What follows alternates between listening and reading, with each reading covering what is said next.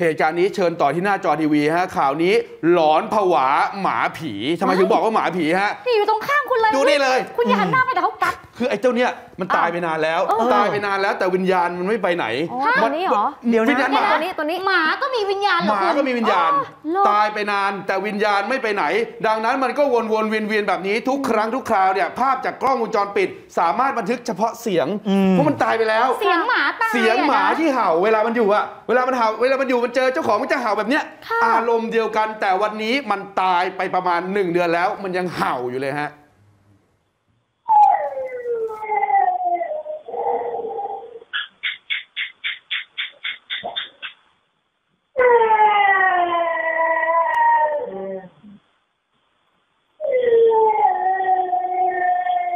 เป็นคลิปจากกล้องวงจรปิด บันทึกภาพได้ บันทึกเสียงได้ บันทึกภาพได้ ภาพอะไรอะ เป็นภาพบ้านแล้วไงเสียงหมาหอนใช่ฮะ เสียงหมาหอนมันจะไม่หลอนเลย ถ้าหากพื้นที่ตรงนี้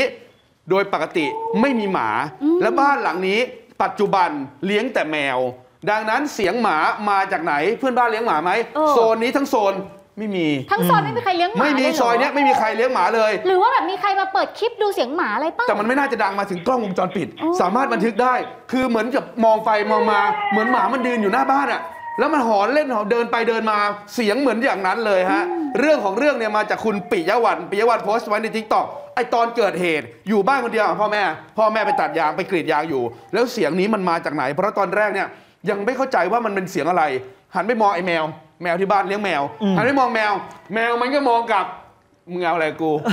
แมวบอกแมวไม่เกี่ยวอะเออแมวก็หอนไม่ได้ แมวก็หอนไม่ได้ เสียงแบบนี้ไม่ใช่เสียงแมวแน่ฮะ สุดท้ายแล้ว ย้อนกลับไป เฮ้ย จะใช่ไอ้เจ้าหมาที่แม่เราเลี้ยงหรือเปล่าที่แม่ไปกรีดยางอยู่นะอ๋อ ไอหมาตัวนั้นน่ะมันตายไปเดือนหนึ่งแล้วอ้าวแล้ววิญญาณมันอาจจะไม่ไปไหนอะ มันอาจจะรักพ่อรักแม่ ของของคุณปิยวันนะ มันก็เลยยังวนวนเวียนเวียนอยู่อย่างนี้ ภาพจากกล้องวงจรปิดหลายครั้ง จึงสามารถบันทึกได้เฉพาะเสียง แต่ไม่สามารถบันทึกภาพไอ้เจ้าหมาตัวนั้นได้ เพราะหมาตายไปแล้ว เลยกลายเป็นเรื่องหลอนๆ ที่คุณปิยวันเอามาโพสต์ในโลกโซเชียลมีเดียแต่เหตุการณ์นี้ชาวเน็ตเสียงแตก ครับทำไมอะเสียงแตกคือเสียงหนึ่งเชื่อว่าเนี่ยน่าจะใช่เสียงหมา ค่ะ แต่สองเนี่ยไม่แน่ใจว่าจะใช่หมาที่ตายไปแล้วหรือเปล่า เป็นตัวอื่นไหม เป็นตัวอื่นไหมเนี่ยโหยซอยใหญ่โตโอฬารมันจะมีบ้านคุณเลี้ยงหมาอย่างเดียวเหรอเออ บ้านอื่นเขาก็เลี้ยงหมาได้เขาก็สนสันนิษฐานเหมือนกันว่า เป็นไปได้ว่าบ้านหลังอื่น แต่ทำไมเสียงมันอยู่ตรงเนี้ยอืมถ้าบ้านหลังอื่น เสียงมันต้องไกลๆตรงนู้น แต่เนี่ยเสียงมันมาตรงนี้ อันนี้คือเสียงที่เชื่อว่าหมา แต่ไม่แน่ใจว่าเป็นหมาผีหรือเปล่า แต่บางเสียงบอกว่าคิดดูดีๆ เอาใหม่นะ แบบนี้แมวคุณรังสิมา เออแมวก็ร้องแบบเนี้ยเฮ้ยไอ้ชาวเน็ตบอกได้บ้านเหรอบ้านดิฉันเลี้ยงแมว เออ แมวบ้านดิฉันมันก็ร้องอย่างเงี้ยอิ้วอิ้วเหมือนบ่นเนาะ เนี่ยอย่างเงี้ยเออมันบอกอ๋อเฮ้ยโทนเสียงมันเหมือนกันขนาดนี้เหรอ เออ ชาวเน็ตฟันธงบอกใช่ เสียงแมวก็ร้องโทนเดียวกันแบบนี้ เออ ดังนั้นคุณปิยวันเนี่ย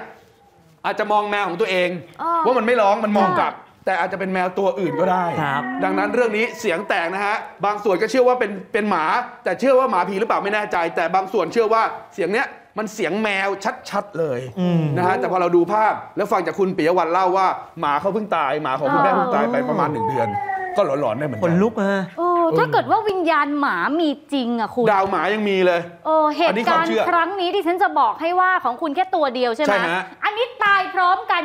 22 ตัวหืมโอ้โหคราวนี้เดินกันโอลหมานเลแล้วยวิถ้าญมันญาณวิญญาณหมามีจริงอะคุณผู้ชมมันจะหลอนกับเสียงหอนตอนมันตายขนาดไหน เหตุการณ์นี้ถามว่าทำไมหมาตายกันเยอะจริงฮะๆต้องบอกว่ามันเป็นเรื่องราวของอุบัติเหตุค่ะ ไฟไหม้หญ้า แล้วมันก็ลามมาคลอกหมาตาย ไฟไหม้หญ้ากับหมาตาย 20 กว่าตัวมันเป็นไปได้เหรอ มันเกิดขึ้นแล้วค่ะ คือตอนแรกที่ไฟไหม้หญ้าโรงงานแปรรูปแล้วก็ขายเฟอร์นิเจอร์แห่งนี้ ตั้งอยู่ที่ข้างสำนักงานเทศบาลตำบลพระพลานารายของจังหวัดจันทบุรี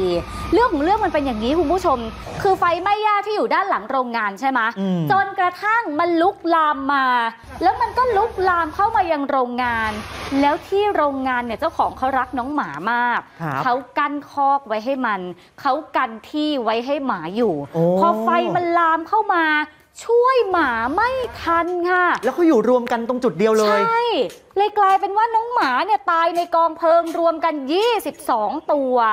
เจ้าของชื่อว่าคุณชไหนอะโอ้เศร้าเลยคุณผู้ชม คุณชไหนกลิ่นสอนอายุ 60 ปีนะคะ บอกว่าตอนเกิดเหตุเนี่ยมีคนนอนเฝ้าหน้าร้านอยู่คนหนึ่งคุณผู้ชมฟังตรงนี้เขาเฝ้าหน้าร้าน แต่หญ้าเนี่ยมันไหม้มาจากหลังร้านซึ่งเป็นป่าอยู่หลังโรงงานค่ะ แล้วคนนอนเฝ้าด้านหน้าก็ไม่รู้ไงอืมก็โรงงานไม่ได้ไหม้นี่อยู่ด้านหน้านี่รู้อีกทีก็คืออ้าว ทำไมมีคนไปโทรตามรถดับเพลิงล่ะโอ้แล้วก็มาถึงพบว่าไฟมันลุกลามแล้วนะคะ พอจะโทรตามคุณชไหน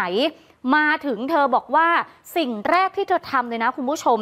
วิ่งไปอุ้มน้องหมาออกมาก่อนอืมแล้วคิ้วออกมาได้แค่กรงเดียวค่ะ ที่เหลือเนี่ยอยู่ในกองเพลิงหมดเลยโอ้มีตัวนี้ดูตัวเดียวที่รอดเออโอ้ยคือสู้ไฟไม่ทันจริง ๆ คุณผู้ชม เธอบอกว่าเธอเป็นคนรักน้องหมามาก ๆ เลยนะคะ เจอแบบนี้นี่คือโรงงานสลายเออโรงงานไฟไหม้น่ะใจสลายไปแล้ว น้องหมาที่เลี้ยงไว้ 20 กว่าตัว ตายพร้อมกันกับกองเพลิงมันเศร้าจริงๆอะโดยปกติหมาที่เราเลี้ยงไว้ประมาณอยู่ประมาณกี่ตัวฮะจะบอกแล้วตอนนี้ยี่สิบสามตัวค่ะยี่สิบสามตัวค่ะครับผมแล้วเป็นจนจากเป็นพันธุ์อะไรอะครับปอมค่ะความหนึ่งเดียว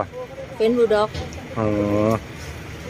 ก็คือช่วงที่เกิดเหตุก็คือมันอยู่ในกรงหรืออยู่นอกกรงอะครับ อยู่นอกกรงค่ะอ๋อสามารถวิ่งได้ จะสามารถวิ่งได้แต่เราคือมันอยู่ในพื้นที่อยู่จะอยู่ในพื้นที่อยู่ เพราะว่ามันเป็นตรงนี้เป็นที่นอนอืมแล้วก็มีหมาอยู่ด้วยปกติเราก็รักหมาอยู่แล้วใช่ไหมรักหมามากรู้สึกยังไงบ้างครับเกิด เสียใจมาก บอกเลยว่าเสียใจมาก ๆ จริง ๆ นะคะ คือในพื้นที่ที่กั้นเอาไว้ให้เขาอะคุณผู้ชมอืมสุดท้ายไม่สามารถช่วยเหลือได้เลย ตอนนี้เนี่ยรถดับเพลิงอาจจะยังต้องต้องคุมอยู่ก่อน เพราะว่าโรงงานแปรรูปเฟอร์นิเจอร์ มันมีกองไม้ไงเออก็กลัวว่าเดี๋ยวมันจะปะทุขึ้นมาอีก แล้วตอนที่เขาเอารถแบ็คโฮมาพยายามเขี่ยเขี่ยๆทำแนวกันไฟอะคุณผู้ชม ไปเจอซากที่เห็นสองตัวเมื่อสักครู่เนี้ยอืมโอ้เออยิ่งเห็นแล้วก็ยิ่งเศร้าเลยนะคะครับนี่นี่นี่นี่นี่ เขาจ้างรถมาเขี่ยมามาเกลี่ยให้มันแบบห่างออกจากกันก่อนน่ะอืม โอ้ก็นี่แหละพอคุณพูดถึงดาวหมา ตายหมู่ก็เลยอยากจะให้น้องหมาที่ตายทั้งหมดเนี่ยเออ ไปอยู่บนดาวหมานะลูกนะ อืมเออ ไม่ต้องมาเป็นวิญญาณหอนหลอนหมาผีไม่เอานะ เออสยองจริงแต่นี่น่าเห็นใจ อย่าลืมกดติดตามช่องอมรินทีวี และกดกระดิ่งแจ้งเตือนกันด้วยนะครับ เราไม่อยากให้คุณพลาดทุกข่าวสารและรายการดีๆ กดตรงนี้ได้เลยครับ